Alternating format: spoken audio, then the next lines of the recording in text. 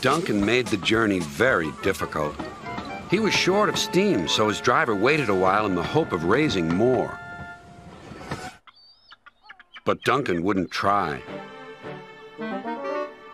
We'll keep our passengers waiting, said his driver. Duncan was cross. You always think about the passengers and never about me.